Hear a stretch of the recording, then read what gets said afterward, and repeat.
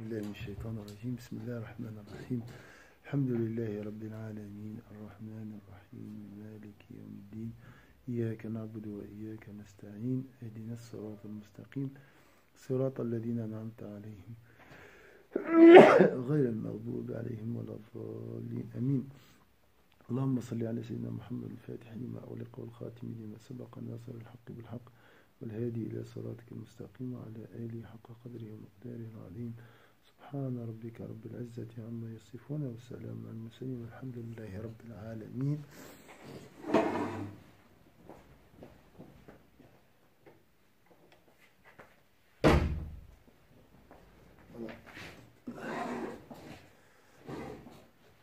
بيان فضيلة العلم. اعلم أن الحلم أفضل من كظم الغيظ.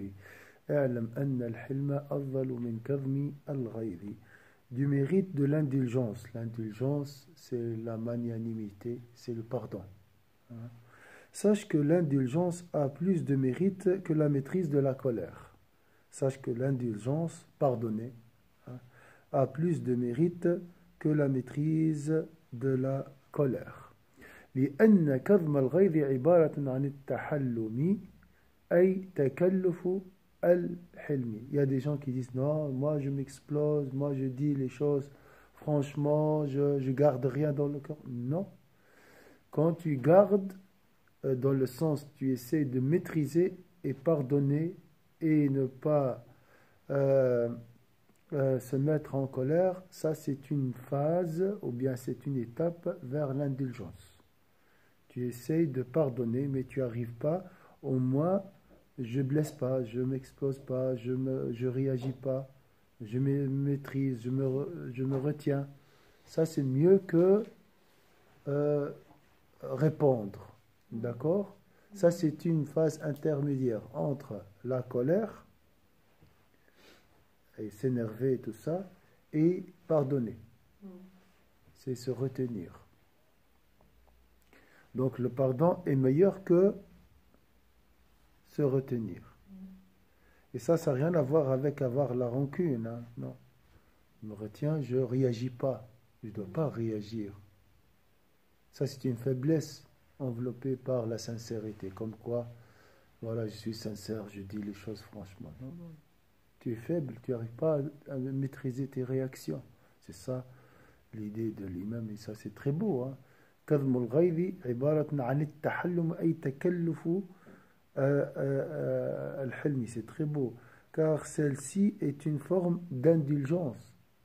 Se retenir, c'est une forme d'indulgence. Et le diable essaie de la tourner comme quoi c'est de la rancune. Non, non, non, j'essaie de me retenir et d'être indulgent. Parce que je ne suis pas indulgent réellement. Mais j'essaye. C'est mieux que s'exploser et voilà, blesser. Voilà. ولا يحتاج إلى كظم الغيظ إلا من هاج غيظه ويحتاج فيه إلى مجاهدة شديدة. ولكن إذا تعود ذلك مدة صار ذلك اعتيادا فلا يهيج الغيظ. Car celle-ci est une forme d'indulgence. D'indulgence. C'est-à-dire qu'elle en est qu'elle en est sa manifestation. Celle-ci est une forme d'indulgence, c'est-à-dire euh, qu'elle en est sa manifestation. Seul le colérique a besoin de se maîtriser, et cela requiert de gros efforts. S'il finit par s'y habituer, au bout d'un certain temps, cela devient une chose ordinaire et la colère ne sera plus attisée. Donc, je répète, car celle-ci est une forme d'indulgence. Euh, comme je peux dire, euh, éteindre sa colère, garder sa colère à l'intérieur, ne pas euh, réagir. Hein? C'est une forme d'indulgence. Comme si j'ai pardonné. Mm -hmm. Mais réellement, non. À l'intérieur, ça bouillonne. Ça, hein? C'est-à-dire qu'elle en est sa manifestation. De l'extérieur, je n'ai pas, pas réagi. C'est bien? Seul le colérique a besoin de se maîtriser et cela requiert de gros efforts. Lorsque je suis en colère, je dois maîtriser cette, euh, cette colère. S'il finit par s'y habituer, au bout d'un certain temps, cela devient une chose ordinaire et la colère ne sera plus, euh, ne sera plus attisée. Avec le temps, il n'y a plus de colère. Il ne va pas agir. Il ne va pas réagir. Mais avec le temps. Donc, je me retiens, je ne réagis pas, je garde ma colère à l'intérieur et avec le temps, je ne réagis plus et avec le temps, il n'y aura plus de colère. Donc si quelqu'un m'insulte, je pardonne. Ah oui, il a dit, ça requiert de gros efforts. Il a raison. Hein? ولكن وإن هاج فلا يكون في كظمه تعب وهو الحلم الطبيعي وهو دلالة على كمال العقل واستيلائه وانكسار قوة الغضب وخضوعها للعقل ولكن ابتداؤه التحلم وكظم الغيظ C'est très beau. Même si elle l'était, la maîtrise de cette agressivité ne le ferait pas souffrir. Et c'est cela l'indulgence naturelle. On va passer par une indulgence, entre guillemets, forcée. Mm-hmm. Je m'efforce à être indulgent, à pardonner. Mais avec le temps, ça devient une seconde nature. Mm-hmm. Ça devient naturel. Mm-hmm. Comme il a dit ici, donc euh, cela devient une chose ordinaire et la colère ne sera plus attisée, même si elle l'était. Et là, si, ma nature devient indulgente euh, et je suis euh, peut-être à un moment provoquée par quelqu'un, même si elle l'était, la maîtrise de cette agressivité ne le, ferait pas souffrir. C'est, et c'est cela l'indulgence naturelle. Et là, je vais pardonner facilement, sans vraiment faire un effort. Donc, je ne vais pas souffrir je ne vais pas faire un gros effort, des gros efforts pour maîtriser ma colère. Pourquoi? Parce que je suis devenu indulgent par nature. Naturellement. Est-ce que c'est clair? Mm. Donc c'est un exercice. Il faut s'exercer. C'est la preuve de l'ascendance de la perfection de l'intellect et de l'exercice de son autorité sur la force de la colère et de la soumission de celle-ci à la raison. Voilà, maintenant la raison qui maîtrise ma colère. Toutefois, la première démarche consiste à exprimer son indulgence et à prendre en charge sa colère. Mais au début, tu dois t'efforcer, tu dois euh, essayer de te retenir, mm-hmm. euh, de garder cette colère à l'intérieur. Mm-hmm.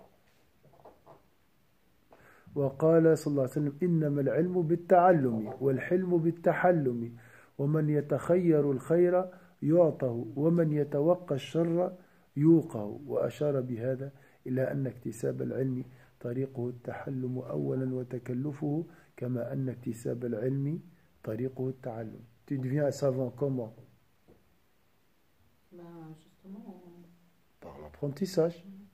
Tu veux, tu viens, comment tu, tu, veux devenir indulgente C'est un apprentissage. Mm. Tu dois t'efforcer, tu dois venir, tu dois, n'as pas envie, tu t'efforces. C'est comme ça. La même chose aussi, le prophète a dit la science s'obtient en apprenant. La science s'obtient en apprenant. L'apprentissage. L'indulgence, l'indulgence en s'exerçant l'indulgence en s'exerçant. Celui qui opte pour le bien s'y adonne, et celui qui se met à l'abri du mal en est protégé. Donc si tu fais un effort pour euh, acquérir le bien, tu l'auras. Si tu veux te protéger euh, du mal, tu le sauras. Est-ce que c'est clair? Toujours cet exercice, c'est l'exercice, c'est l'exercice. Il faut, hein, comme le tawaf.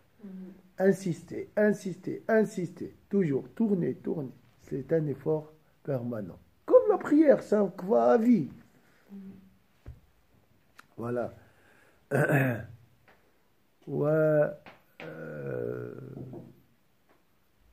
وقال سيدنا أبو هريرة قال رسول الله صلى الله عليه وسلم اطلبوا العلم واطلبوا مع العلم السكينة والحلم. لينوا لمن تعلمون ولمن تتعلمون منه ولا تكونوا من جبابرة العلماء فيغلب جهلكم حلمكم. أشار بهذا إلى أن التكبر والتجبر هو الذي يهيج الغضب ويمنع من الحلم واللين Donc, euh, c'est une quête, hein, la, la, science. Le bon comportement, c'est un travail. Tu dois toujours chercher, à essayer, faire des tentatives.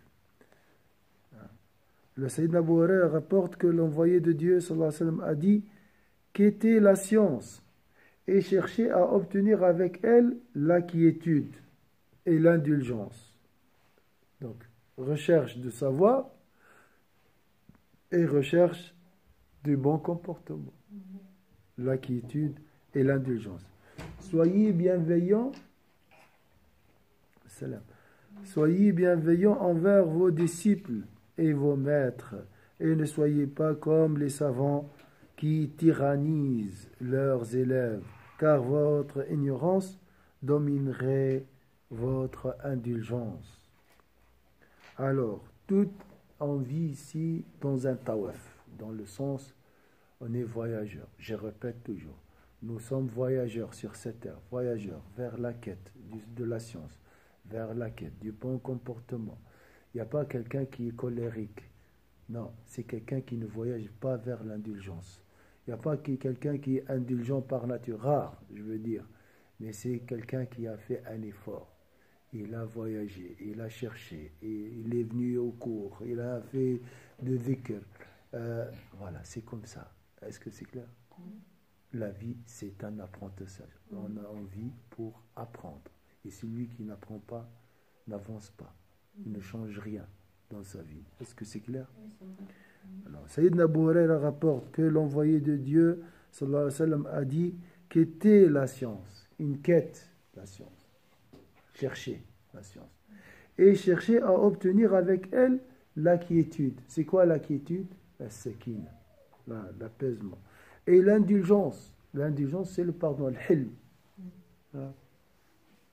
Soyez bienveillants envers vos disciples et vos maîtres. Et ne soyez pas comme les savants qui tyrannisent leurs élèves, car votre ignorance dominerait votre indulgence. Il a donc indiqué que la suffisance et la tyrannie étaient les sources qui attisent la colère et qui empêchent l'indulgence et la compréhension. Pourquoi euh, je ne suis pas indulgent Je suis parce que je suis colérique et orgueilleux.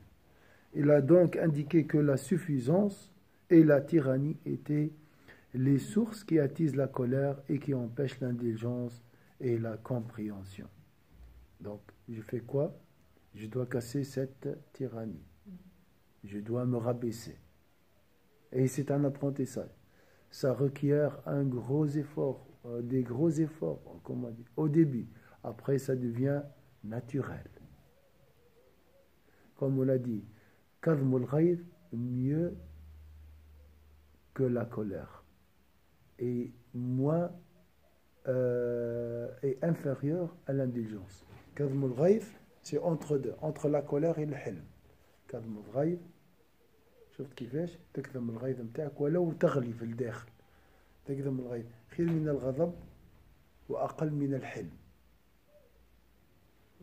Il y a phase intermédiaire.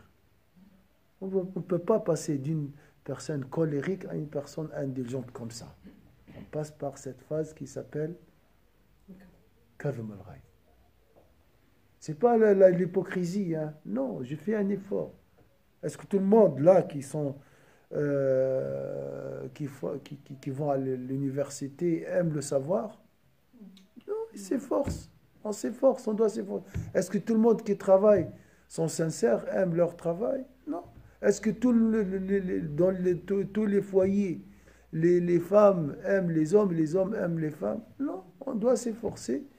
Mais, Inch'Allah, avec le temps, ça devient naturel. C'est comme ça. Mm. On a l'ego qui nous empêche. Et on a l'Esprit de Dieu. Voilà, c'est toujours.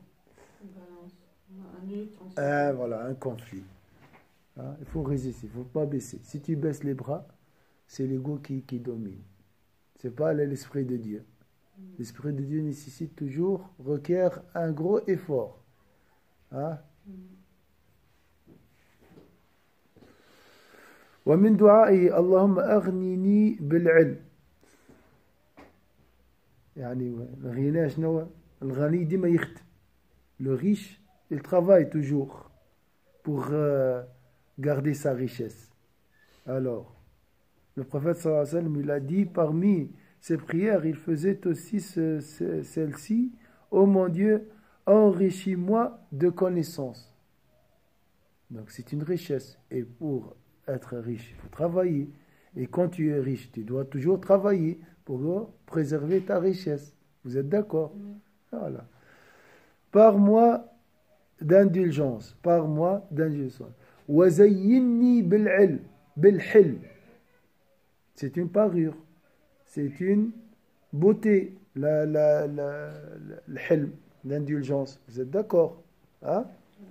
Donc, وأكرمني بالتقوى وجملني بالعافية Voilà, c'est Ô oh mon Dieu, enrichis-moi de connaissances, par-moi d'indulgence, embellis-moi de piété et embellis-moi de bonne santé. وقال أبو هريرة سيدنا أبو هريرة رضي الله عنه قال النبي صلى الله عليه وسلم ابتغوا الرفعة عند الله. قالوا وما هي يا رسول الله؟ قال صلى الله عليه وسلم تصل من قطعك وتعطي من حرمك وتحلم يعني تعفو عمن جهل عليك بمعنى سبك أو شتمك أو استفزك أو يعني أخرجك عن طوعك تحلم عليه. هذا Alors, c'est quoi les hauts degrés ou bien l'élévation? Il a dit aussi, euh, Sayyid Abu Huraira rapporte que le prophète sallallahu alayhi wa sallam a dit qu'était la dignité auprès de Dieu, l'élévation, la dignité ou l'élévation euh, auprès de Dieu. Donc Sayyid Naboué rapporte que le prophète sallam a dit qu'était la dignité auprès de Dieu. On lui demanda comment? Il répondit en renouant les liens avec celui qui les a coupés. Ah, ça c'est très difficile. On a dit c'est difficile. Ça requiert des gros efforts au début. Après, ça devient naturel. Euh, en renouant les liens avec celui qui les a coupés. En donnant à celui qui te prive, il m'a privé, je lui donne. En donnant à celui qui te prive et en te montrant indulgent envers celui qui t'offense. Il m'a offensé, je me montre indulgent. En renouant les liens avec celui qui les a coupés, en donnant à celui qui te prive et en te montrant indulgent envers celui qui t'offense. Ça, c'est l'akhlaq. Ça, c'est l'akhlaq. C'est pas facile. Et c'est normal, c'est pas facile. je trouve que c'est prophétique. Euh, Hein? Pardonner à celui qui m'offense. Ah, pardonner, oui, c'est pas facile. Euh, il y a des limites quand même. Des fois, hein, même si on arrive, on ne va pas vouloir. Euh, mais c'est un exercice. Tu fais encore et tu, tu vas apprendre, Inch'Allah. On va donner des exemples des gens. Il y a tout le monde qui le dit, même si les gens, par exemple, oui, euh, nanana, réellement. Oui, c'est un. que 100% ouais. Non, il y a des intelligents. Il y a des gens pour le moment, j'ai jamais vu quelqu'un. Et on dit que non, pour, euh, pour se montrer là-bas. Mais euh, pour se montrer influence, influencé par les cours, par dehors dans le chien, par les cours dans les mosquées et tout, mais je, je trouve que. C'est pas, c'est pas facile, oui, c'est pas facile. Mais, Inch'Allah, il faut... vraiment- Mais c'est possible. C'est possible. Parce qu'il y a des gens qui persistent, même si on leur pardonne une fois, après ils refont. Euh, ça devient classe, hein, impossible. Non, c'est pas impossible. Euh, bien sûr, tu vas essayer plusieurs fois. Tu réussis des fois, tu vas chuter d'autres fois, mais il faut, faut jamais se désespérer. Parce que c'est le prophète qui a dit ça. Et en te montrant indulgent envers celui qui t'offense. Avec le temps, tu deviens indulgent. On va pas se faire du mal. Bon. Oui, mais au début, c'est bien sûr, tu vas sentir du mal. Après, ça devient naturel, ça devient normal. Tu sens rien. C'est comme si euh, euh, euh, voilà, une, quelque chose. hein, c'est rien, c'est rien. c'est une- au début, ça fait très mal. Après, ça devient comme euh, une épine qui, t'a touché. Après, c'est rien. Il a dit aussi cinq choses caractérisent les envoyés la pudeur, l'indulgence, la pratique des saignées, l'utilisation euh, bâton et les siwak hein, et l'usage de parfum. وقال صلى الله عليه وسلم خمس من سنن المرسلين mais bien sûr là tu imites une qualité divine comme tu as dit c'est prophétique hein? l'indulgence c'est prophétique le prophète sallallahu alayhi wa sallam, il était blessé il était insulté on lui a dit tu es fou tu es, tu es- tu es- euh, tu es magicien tu- on l'a frappé même on a, on a jeté sur lui les intestins le- le- le- des, des, des, des- des bêtes tout ça on a il était il était dans la prosternation on a mis le pied sur sa tête. Mais c'est pas seulement lui. Il y a Job il y a, il y a de- de- tous les prophètes. Le prophète c'est l'océan. Mais il était indulgent il a pardonné. Bien sûr ça c'est le summum on ne peut pas être comme lui comme tu as dit. Mais il faut tendre vers lui. Il faut aller vers lui. Il faut essayer. Donc, comme on a dit la vie c'est un tawaf. C'est des essais. Cette tournée des gens qui étaient contre lui euh, directement.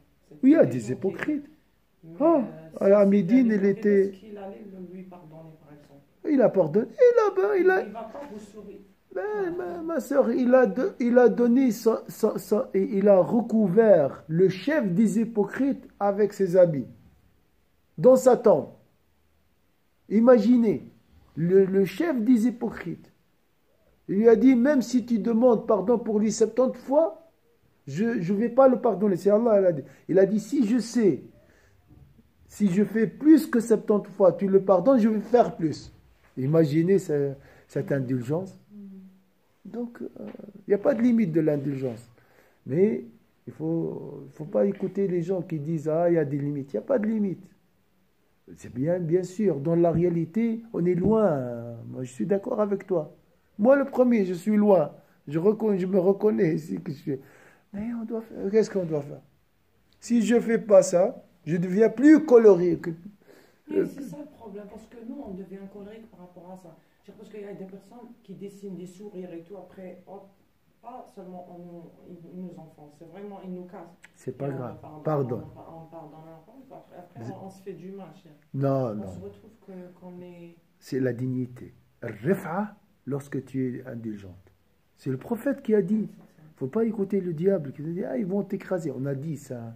C'est le diable qui va te dire Ah, mets des cadres, euh, sinon les gens, voilà, ils te prennent pour euh, euh, une personne qui n'a pas de valeur. Non, ça, c'est le diable. Il faut pas écouter lui. Il faut écouter Allah et le prophète. wa sallam. Inch'Allah, vu qu'on est là, Inch'Allah, Allah nous a choisis pour nous corriger. Inch'Allah. Il ne faut pas s'inquiéter. Il a dit aussi cinq choses caractérisent les envoyés.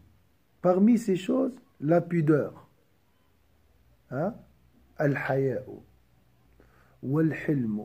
Ah, pour nous, la pudeur est une faiblesse aujourd'hui. Déjà. Ah, On fait, quoi? On suit le prophète ou bien on suit la société? Ou on suit les, les, les, les ignorants?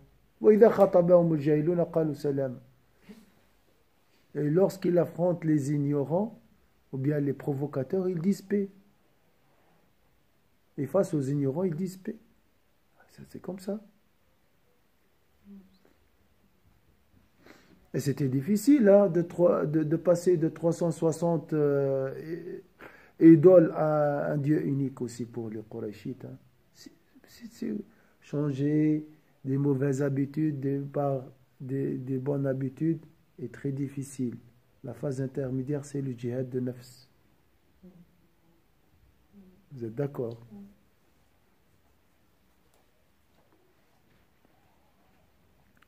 Alors, cinq choses caractérisent les envoyés. La pudeur, l'indulgence, la pratique de la saignée, le hijama, ou la propreté. hein. Le bâton de siwak, c'est brosser les dents. hein. Aujourd'hui, c'est la, la même chose Bien sûr, peut-être il y a, il y a des mérites dans le siwak, parce que c'est mentionné. Wa ta'atturu, et mettre le parfum. Ça aussi, toujours. Propre et pur. وقال سيدنا علي كرم الله la maison aussi toujours propre pure d'accord وقال سيدنا علي كرم الله وجهه قال النبي صلى الله عليه وسلم إن الرجل المسلم ليدرك بالحلم درجة الصائم القائم وإنه ليكتب جبارا عنيدا ولا يملك إلا أهل بيته سبحان الله un hadith qui fait peur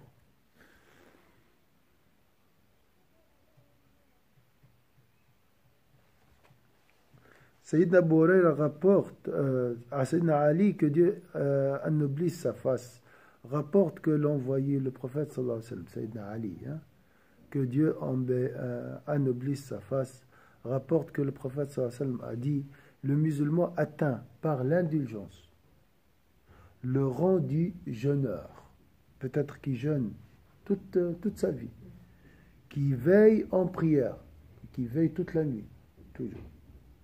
Il sera compté parmi les puissants soumis à Dieu, bien qu'il n'exerce son pouvoir que ça sur sa famille.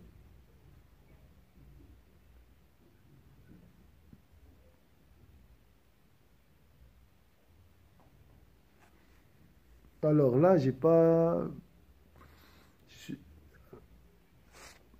Donc, nous avons le premier musulman qui atteint par l'indulgence le rang du jeûneur qui veille la nuit. Comme il peut être considéré comme tyran, bien qu'il n'exerce son pouvoir que sur sa famille. Pourquoi? Parce qu'il n'est pas indulgent envers ses, sa famille. qu'Allah nous guide, nous facilite, Inch'Allah. وقال سيدنا أبو هريرة إن رجلا قال يا رسول الله إن لي قرابة أصلهم ويقطعوني وأحسن إليهم ويسيئون إلي ويجهلون علي وأحلم عنهم قال إن كان كما تقول فكأنما تسفهم المل ولا يزال معك من الله ظهير ما دمت على ذلك. المل يعني به- به الرمل. يعني ربي معاك نصير ظهير بمعنى معاك واحد يدافع عليك ما دام أنت مع الله عز وجل.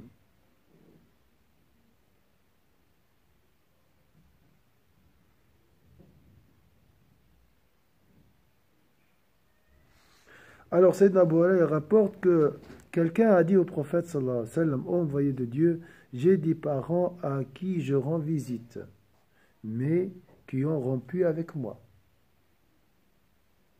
Je leur fais du bien et ils me font du mal.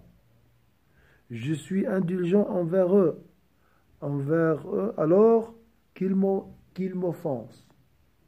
Il lui répondit, si l'on est comme tu, tu dis, c'est comme si tu regrettais leur indifférence. Regretter leur indifférence. Or Dieu ne cessera pas de t'apporter son soutien tant que tu agiras ainsi. Regardez la récompense de celui qui renoue le lien avec les gens qui euh, euh, les a euh, voilà donc qui, ont coupé avec lui envoyé de Dieu, j'ai des parents à qui je rends visite, mais qui ont rompu avec moi. Je leur fais, du bien, et ils me font du mal. Je suis indulgent envers eux, alors qu'ils m'offensent. Il lui répondit, Dieu ne cessera pas de t'apporter son, ton- son soutien tant que tu agiras ainsi. Si tu continues, il faut continuer, continuer, continuer, et Allah te t'envoyera un défenseur. Il ne va pas lâcher. Ah, insiste. Voilà. Et tu trouveras un défenseur, un protecteur, de de la part d'Allah. De la part d'Allah. C'est ça ce qu'il nous faut. Hein.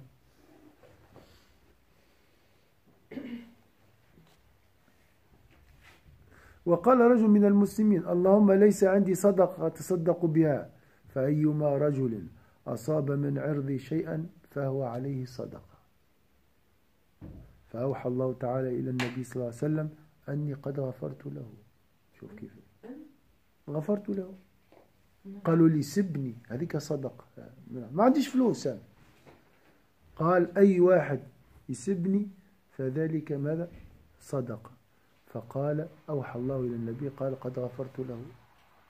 أو مازال ما ما تصدق بعرضه خويا سبو كيما تحب. مش مشكل سماح فهمتي كيفاش؟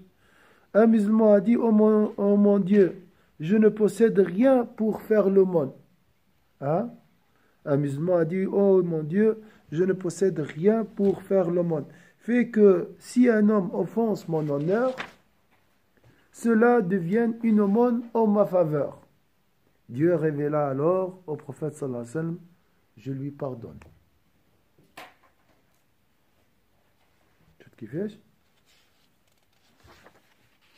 Un musulman a dit Oh mon Dieu, je ne possède rien pour faire l'aumône.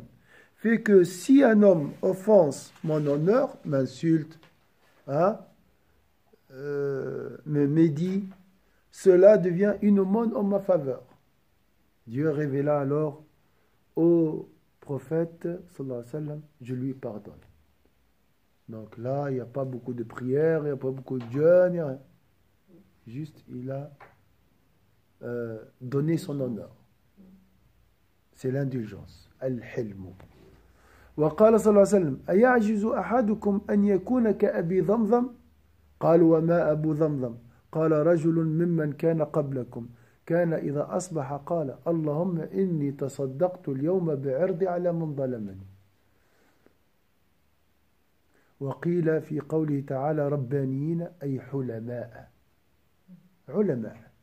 يعني سيسامحوا L'envoyé de Dieu sallam, demanda aussi Seriez-vous incapable d'être comme Abu Dhamdam Ils demandèrent à leur tour Qui est Abu Dhamdam Il leur répondit C'est un homme qui vous a précédé et qui disait à son réveil Ô mon Dieu, je fais aumône aujourd'hui de mon honneur en faveur de celui qui m'offense. C'est une aumône.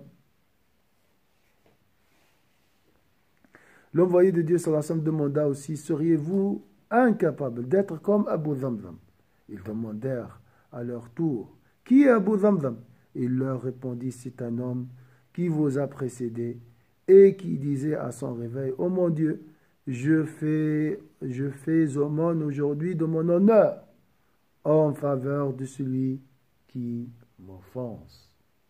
Est-ce que c'est clair? Donc le prophète il a dit Faites comme lui. Donc le matin, tu dis Je ne réponds pas aujourd'hui au provocateur. Quelqu'un m'insulte, je ne réponds pas. Pourquoi C'est une aumône? Le, celui qui a été le musulman qui est mentionné avant, Allah l'a pardonné. Il n'a rien fait, hein? ni hajj, ni umrah, ni aumône, ni zakat, ni hajj, ni umrah. Juste, tu euh, te, te montres indulgent, tu pardonnes, tu réponds pas. C'est un apprentissage. Mais c'est un apprentissage, c'est comme ça. Françoise, avant, maintenant tu es troisième tome. Avant, on a vu le premier tome, le deuxième tome. Il y a en 2014, est-ce que tu es arrivé d'arriver à ce, ce, niveau? Jamais. Mais c'est 5 ans de Mais Ça travail. ne veut pas dire que j'arrive tout pratiquer. Ah, hein. Voilà. Y avait- Mais quand même, quand même, a- tu as réussi au moins à lire ces livres. Mais ça fait 5 ans, ma soeur. Matin et soir, il y a un travail. La même chose, l'indulgence. Après 5 ans, Inch'Allah, tu, tu dis, Inch'Allah, après 5 ans, je veux corriger la, colère. Après, Inch'Allah, je meurs à la fin. Et, lorsqu'ils vont me mettre dans ma tombe, je retourne à mon Dieu avec un cœur pur. Ça, c'est notre objectif. Hein? D'accord? C'est un projet de vie. C'est un projet de vie. C'est pas maintenant. Hein. C'est pas après ce cours. Ah, Alhamdoulilah, j'ai lu, je vais devenir comme Abu Dhamba. Non, impossible. Il faut bien comprendre ça. Il y a des gens qui cherchent des solutions magiques. Il n'y a pas de solution magique tout de suite. Comme quelqu'un qui veut perdre 20 kilos. Il assiste à un cours et après, di- directement, il veut les perdre. Hein? Et les mettre à côté, juste devant la porte.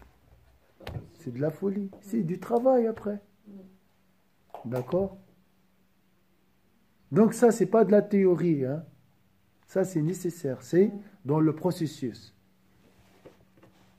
Avant ce cours, avant ces hadiths du prophète, on a dit non, soit je suis indulgent et les autres sont les, les- les provocateurs et toujours la faute des autres, soit je suis mauvais et c'est impossible de changer cette nature. Je suis colérique de nature et je reste comme ça et je vais devenir pire, même tyran, je vais devenir à la fin. Et tyran, c'est quoi? C'est l'enfer.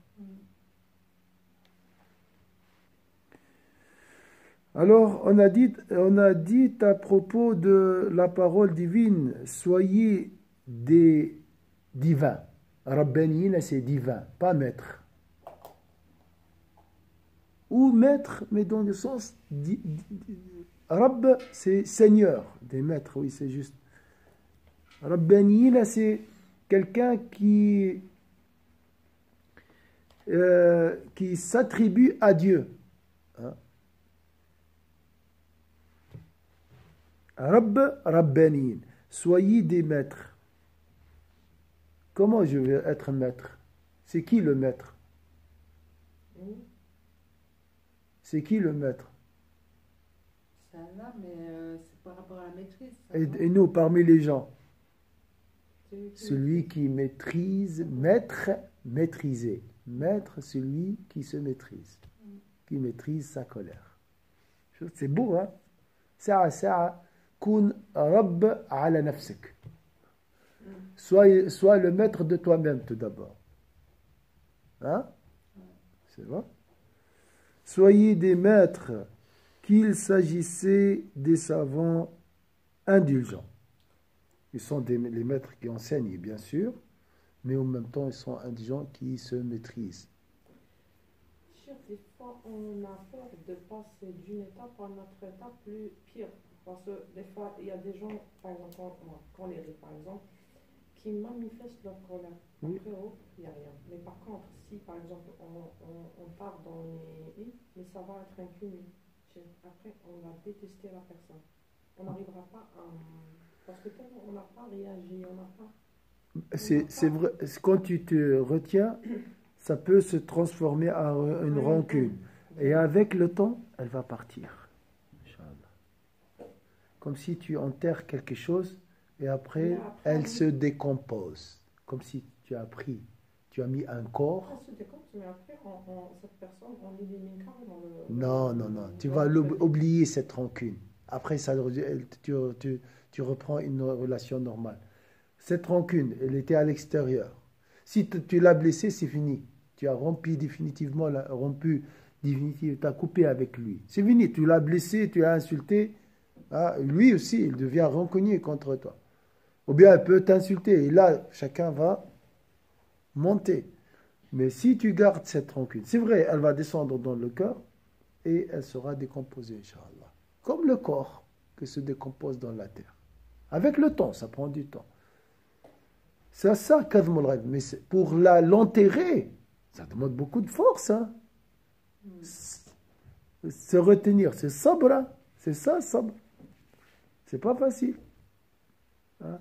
Donc il y a des gens qui disent non, moi, moi, je dis les choses euh, franchement. Ça, c'est une faiblesse. Tu n'arrives pas à te maîtriser. Le, le- le- le chien te domine. Hein? Tu dois garder toujours le chien dans la laisse. Mais ça, chef, dans no- notre vie quotidienne, par exemple, il y a des gens qui s'énervent, qui, qui se révoltent, qui disent la vérité, cachent di- directement. Moi, personnellement, j'aime ces personnes-là par rapport aux gens qui sont hypocrites, qui disent rien, qui te, font, qui te montrent le bien, mais au fond, oh, on découvre que. Tu dois pardonner les deux. Tu dois pardonner à ceux qui, qui blessent explicitement. on on préfère quoi? Il faut, celui qui, euh, moi, je sais que il dit ce qu'il a, après, il n'a pas de rancune, il n'a pas de... le plus Il important, pas de là- mal dans son cœur. tout d'abord, il ne faut pas juger. Ils ne doivent pas préférer. Le plus important, à l'intérieur, moi, dans mon cœur, ce qui m'intéresse, c'est moi. Hein? Je ne dois pas avoir de la ni face à un hypocrite, ni face à un ignorant. Et je ne dois pas juger. Le plus important, c'est toujours la, pureté de mon cœur. Imagine le prophète est envoyé à toi uniquement. Tu n'as pas, pas le temps pour juger les autres. Tu n'as pas le temps pour parler des autres. Ah, il est hypocrite. Qui t'a dit c'est un hypocrite? Peut-être il se maîtrise. Il essaie de se retenir. Tu sais pas, hein Pourquoi? Mais j'ai pas le temps pour juger.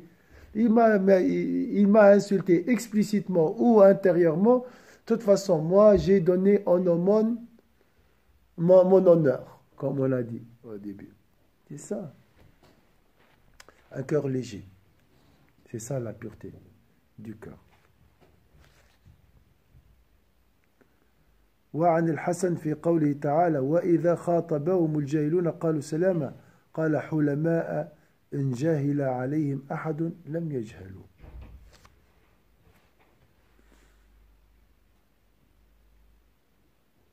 Et à propos de la bienveillance dans sa, dans sa parole, les serviteurs du miséricordieux sont ceux qui marchent sur la terre avec humilité et qui répondent paix aux ignorants les interpellent. On a dit à propos de la parole divine, soyez... Non, on a dit ça. Et à propos de la bienveillance dans la parole, les serviteurs du miséricordieux sont ceux qui marchent sur la terre avec humilité et qui répondent paix aux ignorants qui les interpellent. On a dit qu'il s'agit des indulgents ici. Qui sont les indulgents? C'est les serviteurs du miséricordieux. Vous voyez cette euh, qui marche, hein qui marche sur, terre, sur la terre avec humilité et qui répondent paix à qui Jamil. آه. C'est- مش راهو الجاهلين ما يعرفش يقرا ويكتب اللي يقول لك احنا يجهل عليه طاغين. طاغين أيوة. et qui répondent paix aux ignorants qui les interpellent وقال عطاء بن رباح يمشون على الأرض هونا أي حلما à propos de sa parole à l'âge mu euh, on a dit qu'il s'agit des indulgents. Ici, ceux qui marchent euh, avec humilité euh, sont, ceux, sont les indulgents. وقال ابن أبي حبيب في قوله تعالى وكهلا قال الكهل alors on dit adulte adulte pour nous c'est voilà c'est question d'âge c'est la maturité du cœur si je peux dire c'est comme ça subhanallah ça veut dire quoi kahlan on dit kahlan dans le Il Coran dépasse 150 ans. on parle de cinquantaine شي مني انا 40 ولا 50 est-ce que l'âge est important Tu trouves un enfant à l'âge de, euh, tu trouves euh, une personne euh, 50 ans mais il est enfant dans sa tête. Et tu trouves un adolescent 18 ans mais un, comme un roi. Maîtrise machallah calme. C'est vrai ou pas? Subhanallah. Alors à propos de la parole à l'âge mûr kahlan. C'était c'était Sayyidina Zakaria je crois. Si je ne me trompe pas c'est un prophète, de toute façon. On a parlé Kahlan. Et moi, j'ai jamais posé la question. Pourquoi on parle Dans la, la traduction, en kahlan, c'est adulte. Mhm. Mais c'était pas ça. On ne parle pas de l'âge physique, on parle de l'âge, même pas la euh, du cœur. À propos de sa parole, à l'âge mûr, Ibn Habib a dit.